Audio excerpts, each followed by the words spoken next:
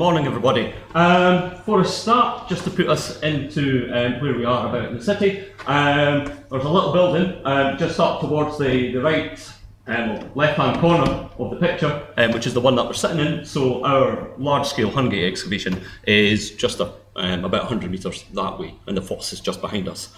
A little bit of a, a kind of warning at the beginning. Um, the Hungate project's a very rare beast. So when we're talking about community um, engagement in developer-funded archaeology or development-led archaeology, um, this is a five-year project um, and the biggest ever hole that's ever been excavated in York. It's not something that comes around every year. Um, the previous large hole was um, Coppergate, which finished in 1981. Um, so, you know, when we're talking about what we've been able to do here, this is a very rare project.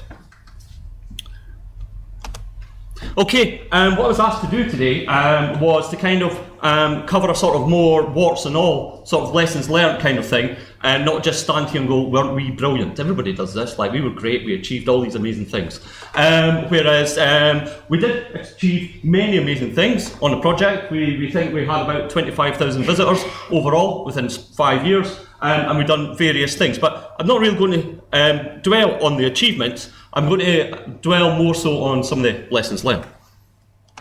Um, and uh, one of the things that I've been banging on for quite a number of years, as many people will be able to tell you, is that um, health and safety um, on development-led sites is always going to be very tight, whether or not we're under CDM, um, whether we're quite far in advance of um, construction now, we don't have to be under CDM, um, but we may be um, expected to work under CDM regulations.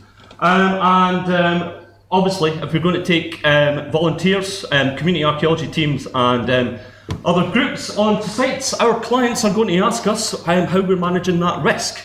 And there are some sites where we're never really going to be able to maybe take communities. One of the major things down at Hungate was the fact that we have a, a gasworks site um, which has a major sort of contaminated land aspect with it. And we were never going to be able to have community archaeology within that contaminated land aspect. Um, lots of like hideous hydrocarbons and that sort of thing. Um, but our clients are going to expect us to show that we are doing risk assessments and that we are assessing the risk of bringing um, non-professional staff onto site. We were asked on a number of occasions, especially when we wanted to take young people, so school children, people of school age, out onto site, how we were going to manage that risk and we had to produce um, specific risk assessments for it. But the good thing here is, the positive benefit I think comes from the major lesson learned, um, is the fact that risk assessments actually open doorways. Um, don't think of them as that sort of, oh, do another risk assessment. Um, you think, right, if I do a risk assessment for this activity, this might actually allow our clients to then open the doors and we'll get other things going on. So, um, risk assessments can be used as a positive and they can open it up. Um, and um, But definitely on development led sites, it's always going to be an expectation for that health and safety management. Um, once we got onto site, uh, we had a structure where we had um, two days a week put aside um, for community archaeology. Um, this was a Wednesday and a Thursday. Um, but we thought that really not everybody can access midweek um, projects, things like that, and we should do it on a Saturday as well. And believe it or not, the Saturday sessions just fell flat on their face after a few months. Uh, and this kind of came about because we were really surprised. Our assumption was that people want to come and do things at the weekends.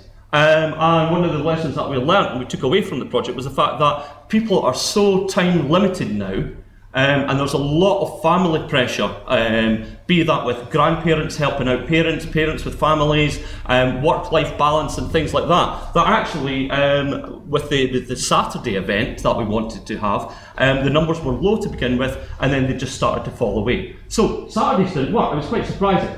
Um, and then within the community archaeology team, when we had something like um, the Wednesday Thursday system going on, people could come for both days, they could pick one or other. Within the community team, we actually had found that some people just couldn't work together. That was their own um, take on things. Now, we often work with people that you don't want to work with, but we're professional archaeologists. We're expected to work with people who we don't necessarily see eye to eye. But within the community teams, they don't have to. If they fall out with somebody, they can fall out with it and not really worry about the repercussions. Um, and so, just as an observation, a multi day project allowed people to avoid each other. um, which uh, it, it, it, worked for us and it worked for them. So um, it's just something to be aware of. Um, and yeah, believe it or not, not everybody wants to dig. I just don't understand it at all. Um, coming from a, a, sort of hardcore field archaeology background, um, but um, not everybody wanted to go out there, get wet, get cold, get dirty. I mean, what's not to enjoy working in York in January?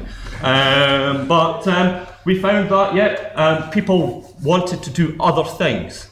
And so we had to sit back and we had to think about how we got levels of engagement and community engagement and lots of different other ways of getting people involved through post-excavation processing, and artifact analysis, or at least introducing handling an artifact analysis, um, archive research, census data. We had a fantastic project done on um, the, the census work um, because we were doing a lot of historical archaeology. Um, but this takes time and effort.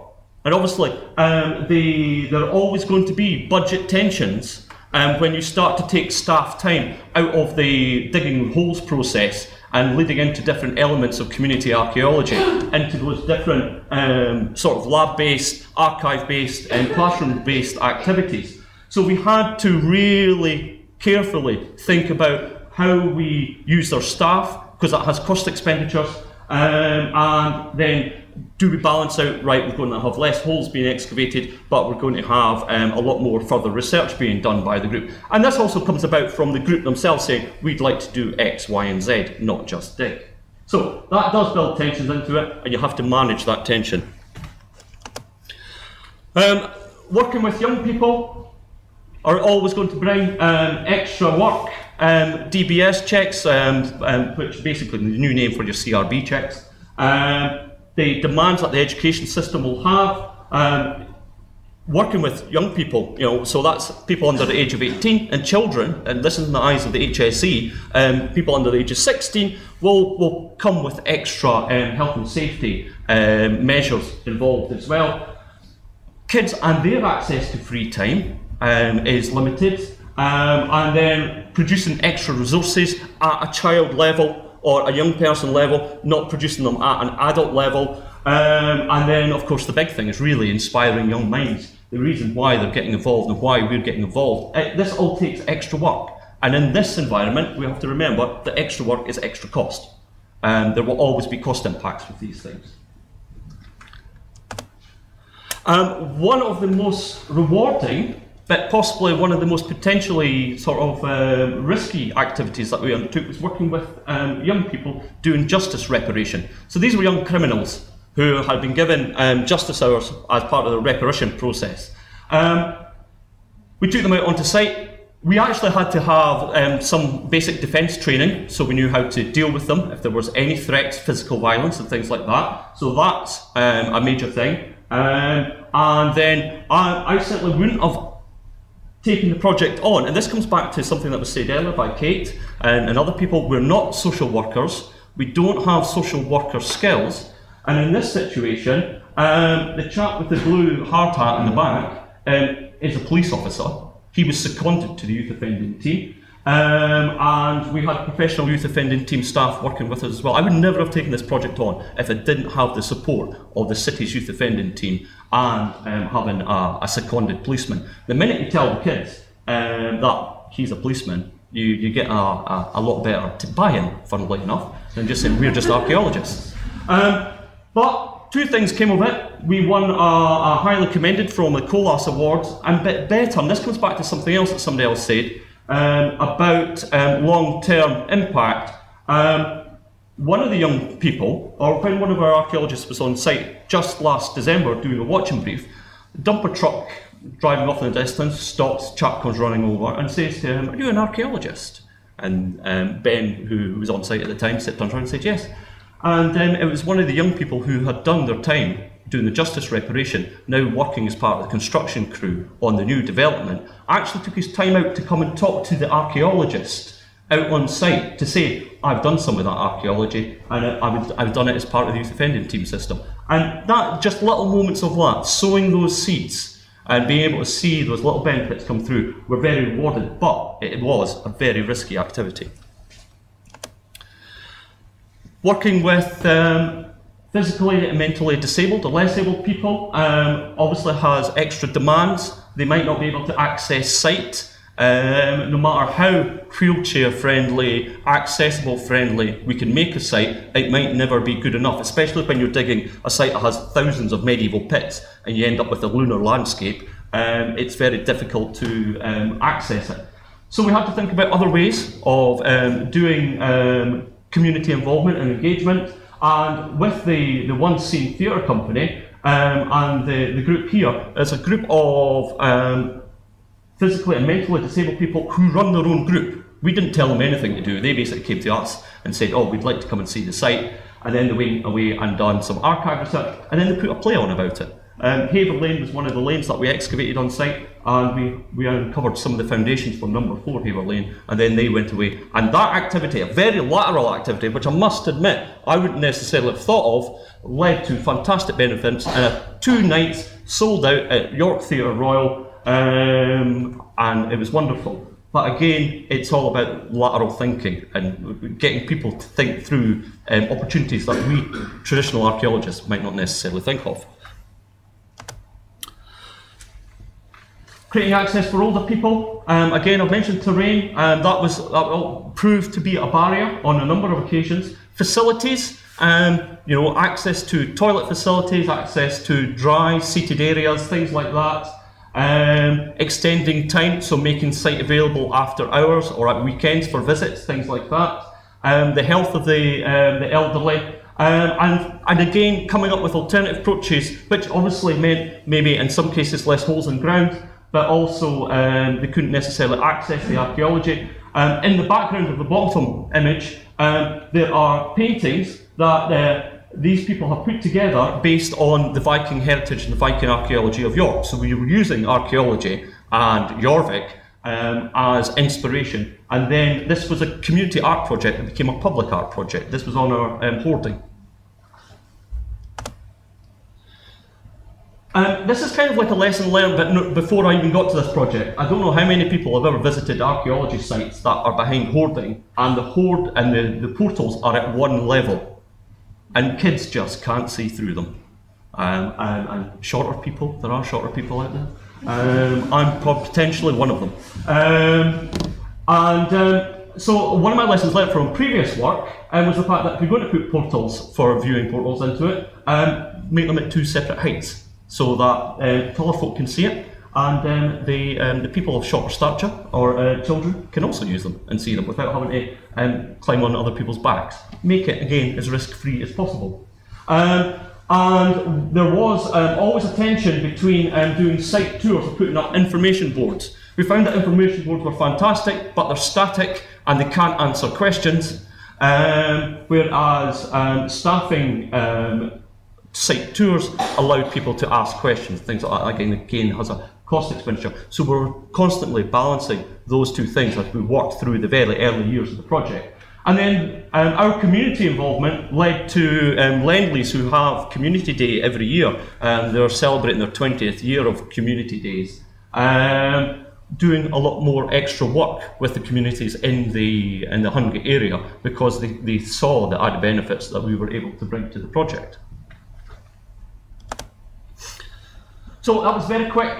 Um, there's a lot of information in there, um, and our lessons learned, I think, come of the fact that undoubtedly within development-led um, archaeology, there are things that we can achieve. There are things that we're never going to be able to achieve, um, be that because of contaminated soil, other health and safety issues. Um, it's not the appropriate type of site, um, and um, not all of the community team will want to to do all the work that we're expecting um, because they have their own aspirations. This comes back to things like sort of uh, acknowledgement and qualification and training and things like that as well. Um, and there are weaknesses and strengths and benefits in their group, that community archaeology group, which we are part of, but we have our own strengths and weaknesses. Like I say, we are not um, social workers. Um, we don't have certain amounts of skills, or, or certainly I'm not a social worker. And so um, it was great eventually to be able to work through that whole process where both the community archaeology teams and the engagement teams and the outreach work, we learnt the skills limits and that they had, but they also learnt ours. You know, I'm not an expert in Neolithic Britain, for instance. Um, and so when people were coming up and asking me questions about Neolithic Britain, although I want to blag, I would just you know, say I know very little about that. So um, I, there are skills and limits even in my knowledge. Um, and um, but overall, it's worth it. And if we can do um, community archaeology on specific, chosen, well chosen development sites, and we have to have buy-in from our clients. And this is always done. I have to say, we have to give um, a big um, thank you for um, the local government archaeologists for getting involved in this process as well. Um, this all came about because of a Section 106 agreement within the, um, the, the, the, the plan and development plan um, which just asks for public engagement and, and, and education. A few simple words, public engagement and education. And we to make all of this out of it. But again, this comes through the development planning process, so our, uh, our local government archaeologists are already key as part of that process. Thank you very much.